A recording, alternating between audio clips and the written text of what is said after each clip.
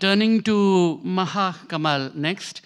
Maha has worked in Colorado. She has studied in Colorado, and, and she's been associated with the Colorado Prison Project. She's also, she has been involved with the Council of Ex-Muslims in Britain, where she has written a policy paper. And, uh, on, and uh, she is a designer, and she has been disowned by her parents. So we would love to hear her story. Thank you. Uh, speaking of design, do you have the PDF? Because the fonts aren't loading properly on this. That's fine. Huh? I mean, I do. You'll, you'll get your minute. I won't cut it from your time if you need the minute. So don't worry about it. Okay, can we do that? I'm so sorry. This is just an OCD thing. It has to be the right font. And it has to be Rockwell and Rockwell condensed, or I'm going to lose my shit. I will. Um, I'm gonna. Is it okay if I just walk around because I can't sit here? But then I can't show you the card. You can. You will, yeah, okay. Just put up your phone and let me know what the. you guys can interrupt me. All right, well, while he's setting up, I'm going to ask you a simple question. And I know there's a professor in the room that specializes in human rights law, so I'm on the spot right now. Um, what is international law? What is it? Like when you think about it,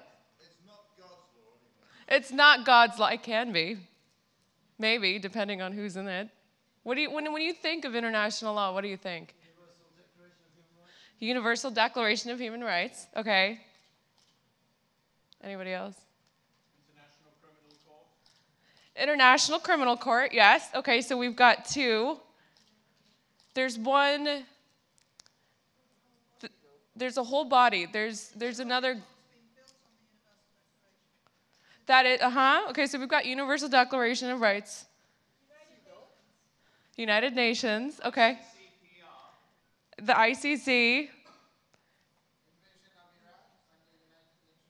There's there's something for prisoners of conscience, civilian rights. Does this ring a bell?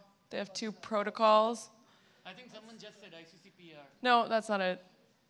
Okay, I'll just fill it in for you. It's the Geneva Conventions. All right, so you kind of get an idea that this is a really big body, um, which I would like to get my slides, but sorry.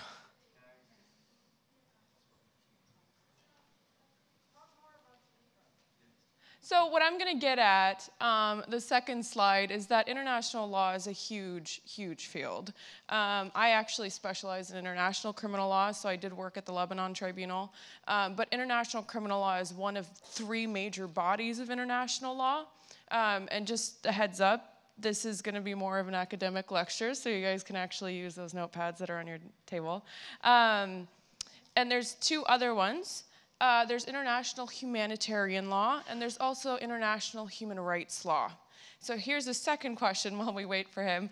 What's the difference, do you think, between international humanitarian law and international human rights law? Because you know lawyers love to be very nuanced. Does anyone want to take a guess?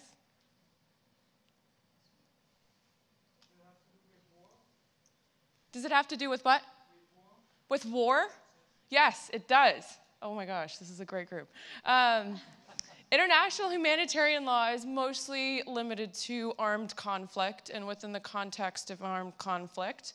And international human rights law is the internet, it's, it's based and founded on the UN Declaration of Human Rights and other agreements and treatises that have to do with human rights. So it's not limited to the context of war. Um, international criminal law is also much in the line with armed conflict, um, even though we can get into that in another lecture. Um, so we're going to focus on today is international human rights law, and I want to um, talk a little bit about that and its clash with state-sponsored Sharia law, um, and how I don't think that the two um, are compatible in this day and age. Um, and and this is a oh gosh, good. It's the right font, I think. because is this a PDF? Okay. Do you think it's going to work with?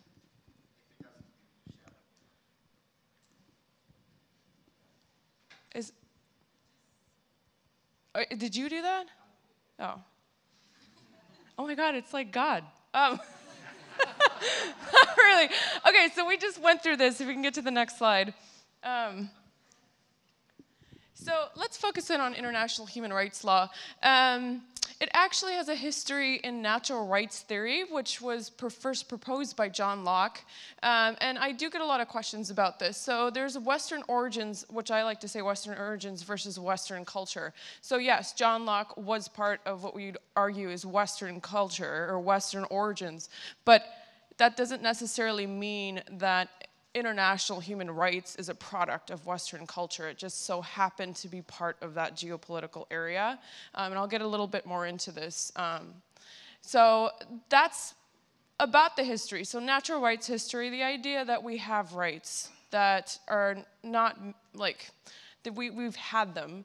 They're natural to us, and it's not something that is supposed to be given to you or that you have to work for it or something like that.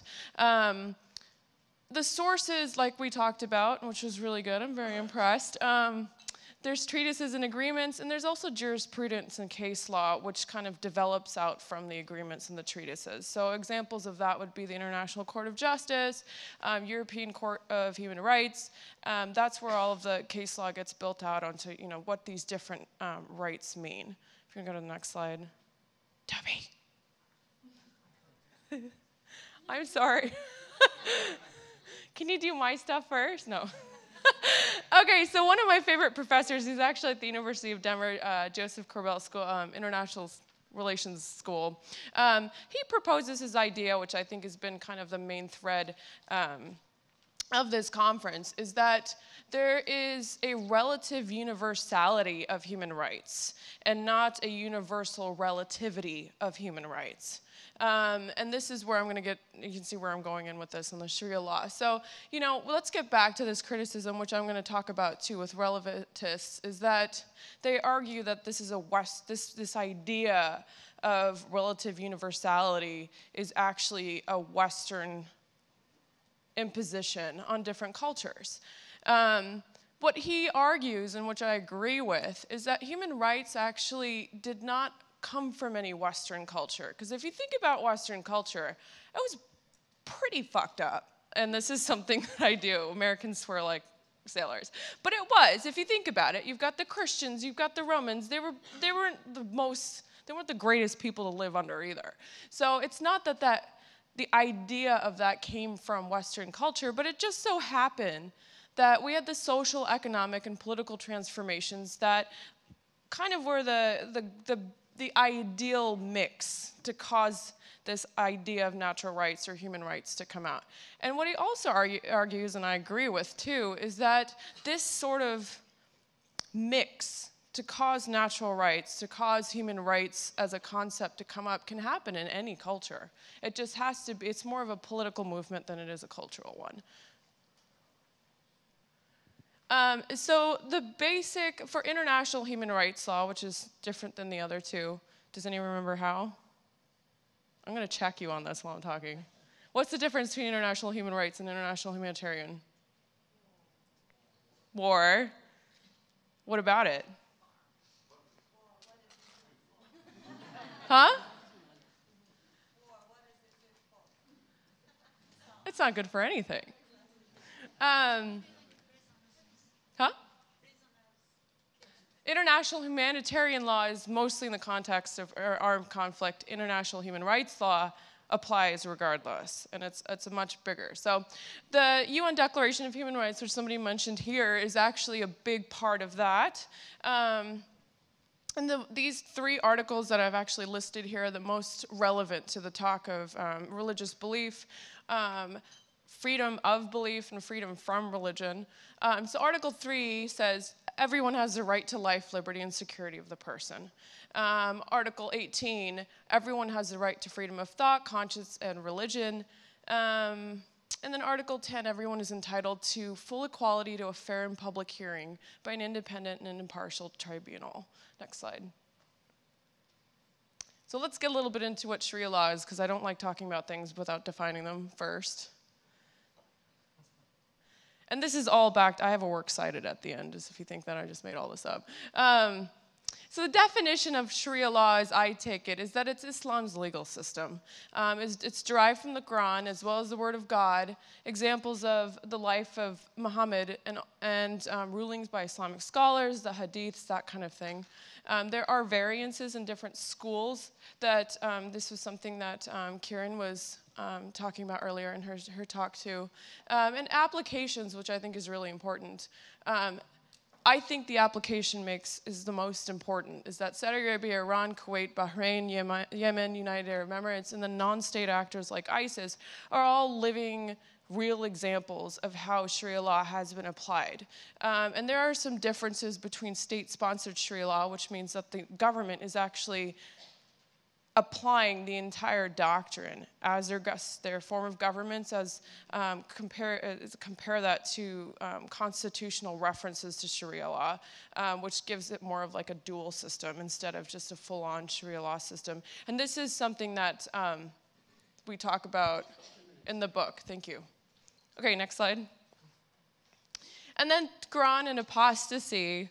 Um, I, this is only four out of Lord knows how many, um, talk about really like what can happen to you if you become an apostate and what's encouraged. And this is only the Quran. There's uh, you know quite a few um, sources uh, about punishment, about slaying, about never for, like you know forgiving, and you can just imagine what kind of tribunal you'd be in if you had to deal with this kind of um, case law, or being this being treated like case law. Next slide. Um, when the UN Declarations of Human Rights came out, there was actually two um, agreement, well, two counter responses to that from the um, Islamic world. And one was the Cairo Declaration of Human Rights, and the other one was the Arab Declaration of Human Rights, which came after the Cairo Declaration. The problem with both of them is that they embodied most of the UN Declaration of Human Rights, but it was subject to Sharia law, which kind of defeats the entire purpose. Um, and that's the biggest criticism that I have is that you know you are trying to fit in, but at the same time, and you're trying to comply with modern standards of human, inter, international human rights law, but it's going around in a circle and coming back to Sharia law, which is actually the problem. Next slide. And there's two criticisms that we kind of talked about with Western imposition of Islamic beliefs and also the relative definition of human rights. So that's another criticism that comes from the Islamic world is, well, human rights are different in Islam. And this is something Kiran was talking about as well, is that the labeling actually changes your status within Islam. And that's a problem. And that definitely does not comply with current and modern trends of international human rights. Um, but these are the two main criticisms that I continue to see as a, as a defense of Sharia law in the wake of um, uh, international human rights. We'll take the next slide. 30 seconds. Great, I'm on time. So this is the response that I would have against any um, criticism that the UN Declaration of Rights actually trump state-sponsored Sharia law is that cultural relativism cannot and does not apply to the relative universality of human rights. So it's just a, it's a conflict. And in this day and age, we can't tolerate that to an extent when it's it's you know we've we've decided and we've progressed to a point where natural rights um, are what matter the most. Um, the imposition of Sharia law upon the entire population of peoples also violates international human rights in the sense that not everybody in the state can be assumed to have accepted Sharia law or even accepted Islam. So their natural rights are just by virtue being violated when they just so happen to be born in an Islamic country. Um, and also that the individual rights should be prioritized over the rights of states, which is another issue with these responses to the UN Declaration of Human Rights. Um, that the states say that, no, we're going we're gonna determine who gets rights and how they get them. Um, and in this day and age, it should be that the individual um, should be prioritized over the state, that the state is in, in, and of itself the one that should have rights, but, all, but actually the individual. Um, and I think that might be the end of it. I just wanted to, yes, there's my work cited. So that's a little bit of a mini summary on those two. Um, I would love to just be able to talk to you guys if you have any questions, because mine is more of a lecture based than anything else. Um, but yes. So that's the case, I think, for having international human rights law trump state sponsored Sharia law.